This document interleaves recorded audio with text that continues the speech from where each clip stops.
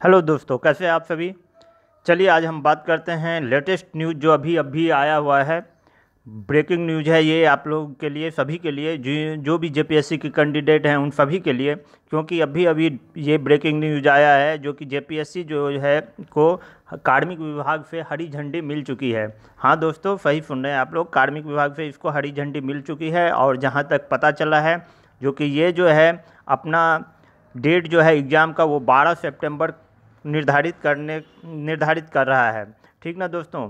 तो आप लोग अब इसमें जो है वो जितना हो सके, जैस तरफ़ हो सके आप लग जाइए, क्योंकि अब ज़्यादा वो दिन दूर नहीं, जो कि इतने दिनों का बेसब्री का इंतज़ार जो है, अब वो ख़त्म होने वाला है।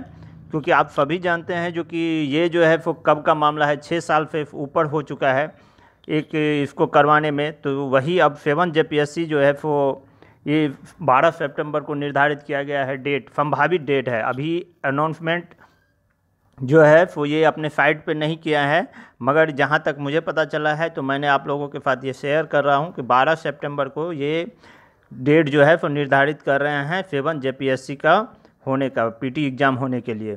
तो चलिए दोस्तों, यही चीज़ मैं आप लोगों को बताना चाह रहा था। तो चलिए, धन्यवाद। इस चैनल को लाइक कर दीजिए चैनल को सब्सक्राइब कर लीजिए लाइक कर दीजिए दोस्तों। और इस तरह से न्यूज़ जो है वो आप लोग के पास मैं पहुँचाता रहूँगा। थैंक यू जय हिंद।